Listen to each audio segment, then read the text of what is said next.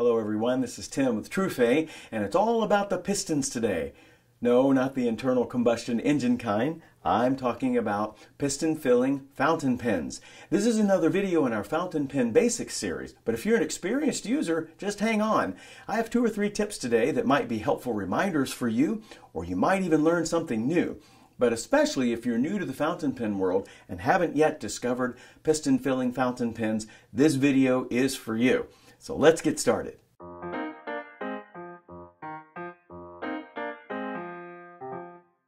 So what are the advantages of using a piston filler? Well, there are several. One, it holds a lot of ink, more than most any other converter would. The other is it is really, really easy to use. It's a super simple filling system and it is very reliable. It is much easier to draw ink into a piston filling fountain pen than it is even the best of converters. And some of those converters are really not very good at all. And the third is that it is just a little cleaner to fill a piston filling fountain pen. At least it is for me. So we're going to show you today are a couple of tips for making filling a fountain, a piston filling fountain pen a little easier. And then the third tip is just a reminder, maybe especially for those who are fountain pen enthusiasts and very experienced users, just a helpful reminder for them. Now there are a lot of methods for putting ink into a fountain pen. There are the normal cartridge type fountain pens like this Lamy Studio. It's a cartridge converter, but I happen to have a cartridge in it today we have another one of my favorite ones to use, which aren't as common and maybe not as popular, but a lot of fun. They're called eyedropper filling pens, and this Moonman is only fillable that way by eyedropper. But you can get a lot of ink in these, and it's very, very easy to clean and, and easy to, to, uh, to fill. There are vacuum filling fountain pens. I don't have one of those with me today, but you might have heard of that, and especially if you're an experienced user, you know all about that. But today, like I said earlier, is all about the piston. So why a piston filling fountain pen? I mentioned earlier it really is one of my favorite methods. In fact, it is my favorite uh, fountain pen filling system. And it's because it is easy to use, it's reliable, they tend to hold a lot of ink, and they're a little less messy to fill. A good piston filling fountain pen is just easy to get ink into. This is a TWSBI 580AL. This is the new one in Prussian blue, uh, new as uh, of this filming. It is one of my favorite piston filling fountain pens, but I'm showing it to you today because it's also what's called a demonstrator, so it's clear and easy to see how this mechanism works. So as I twist this cap, you can see the piston coming down and then back up.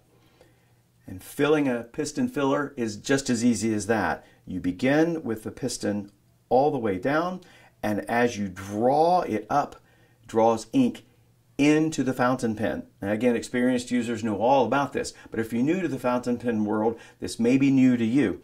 So let's talk about a couple of tips for knowing how to fill a piston filling fountain pen, one of the easiest methods, I think, for doing so. And then that third tip is going to be something that even experienced users forget sometimes. So let's get to those.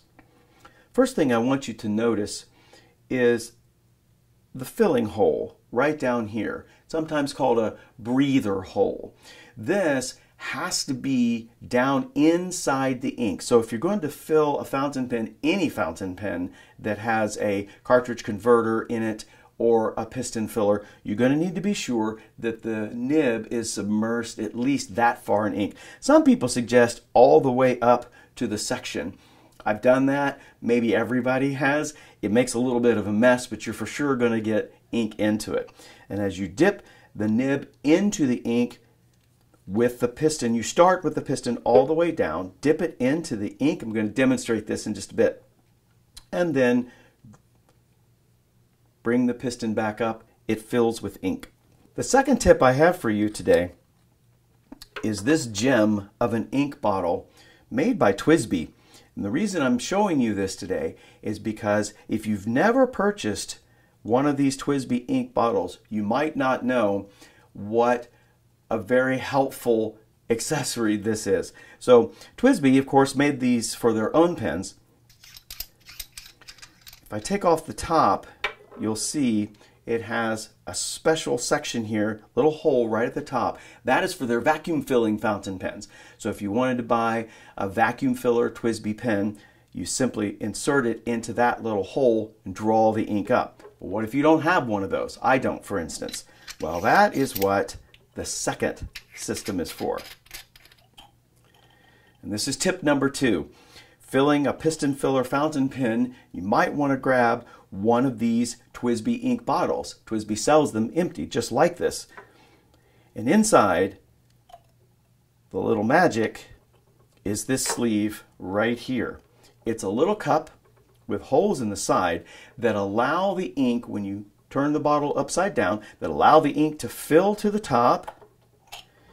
And then you simply take your piston filling fountain pen, any brand, place it down inside the plastic sleeve, draw the ink up, no fuss, no mess. It's a really wonderful way to fill a fountain pen. So that's tip number two, filling a piston filling fountain pen using a TWSBI ink bottle is a joy. It's a dream.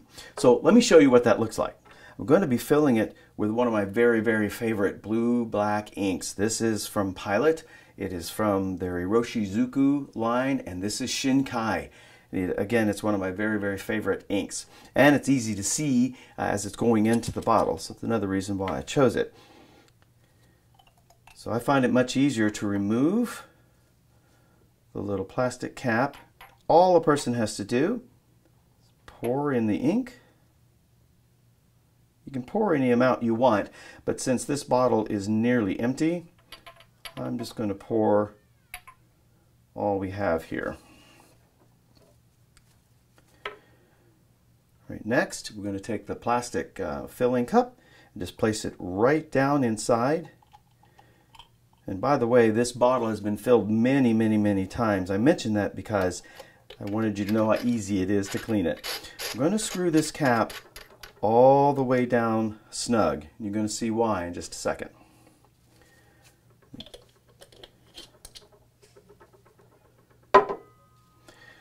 So with the cap secured on the top and the ink inside the bottle, I am simply going to turn it upside down.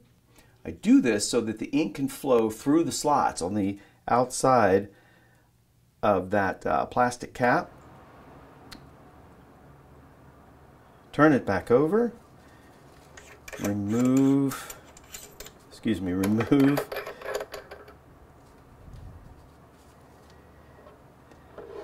Now we're doing this live, so gotta hope it works really well. It always does. Remember to take a, you take the piston, place it all the way down, and remember this breathing hole at the middle of the nib. But I don't really have to worry about that as much. I'm just simply going to put it inside, down inside that cap, and draw that piston up. See how easy that is?